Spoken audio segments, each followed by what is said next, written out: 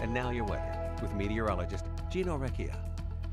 What a beautiful day to be outside, and I saw a lot of folks taking advantage of the nice warm weather we saw today. Temperatures in the 40s and even the 50s. Look at Waupaca, 55 for a high temperature, and it's been making a huge impact with the snow that we haven't had a whole lot of snow to begin with this season, but just starting from earlier this week to today, pretty much all the snow has gone. It's just the piles of snow, the drifts that still remain, but that snow depth, not looking too good. And if you're hoping for any snow, well, I've got more bad news. We're going to remain well above average as we continue on in to March. Really, the only one cold day that we have will be Monday. And then we'll have more 40s and even some 50s in that seven days. Started off with some nice sunshine this morning, a little haze in the sky, but overall feeling like the end of March versus the end of February. And we're going to be seeing more of those conditions as we head into the next seven days. But for the meantime, still in that transition of seasons, we're still technically in winter right now, but it doesn't feel like it. We will see some snowfall as we head into tomorrow morning, an area of low pressure moving in here from the southwest.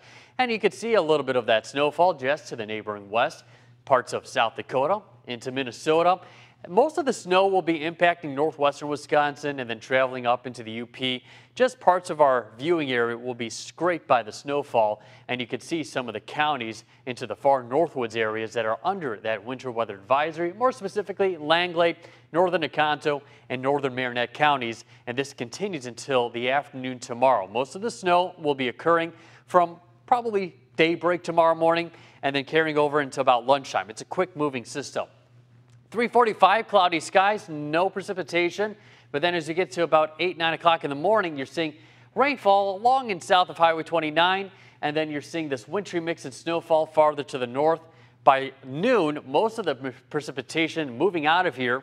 And by later afternoon, could even have some breaks in the cloud cover.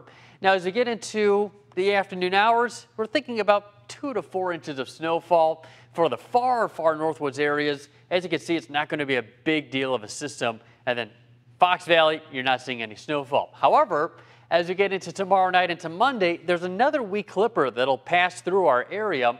This is 6.30 in the morning hours. Could just brush the southern Fox Valley area where exactly that little clipper passes through.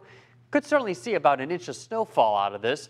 Latest Skycast model showing just about a dusting of snowfall, but with temperatures that'll be rising well above average later in the work week, any of the snow will be quickly melting off, and you'll see that momentarily.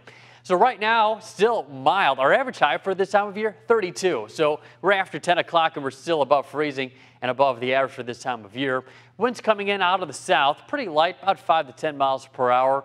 We'll cool off to just below freezing tonight with uh, wind out of the southeast at 5 to 10 miles per hour. Tomorrow we'll get up to a high of 41. Wintry mix and rain and snow. Snow up to the north, wintry mix kind of right along the Highway 29 corridor and rain down to the, across the Fox Valley. Coldest high will be on Monday, high of 28, and then we crank up the heat once again. And yeah, I got two days in the lower 50s Wednesday and Thursday. No sign of winter really in that seven day forecast, Kelsey. Definitely looking forward to those two 50 degree days next week. Thanks, Gino.